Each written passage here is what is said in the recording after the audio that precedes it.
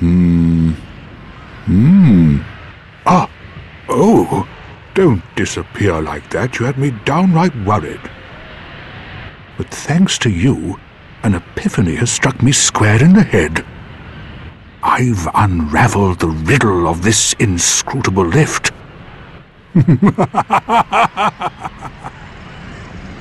On some days I begin to doubt myself. I went up the tower, so I thought, then somehow ended up here.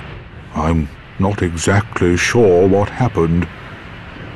Anyhow, do you see that? That humongous beast? I'm no coward and I've a steady hand, but that thing makes my skin crawl. How now? Think twice before you go down that road. I could try talking some sense into him. No, I think not. He's far too overheated. I've got to use my head and think. Hmm.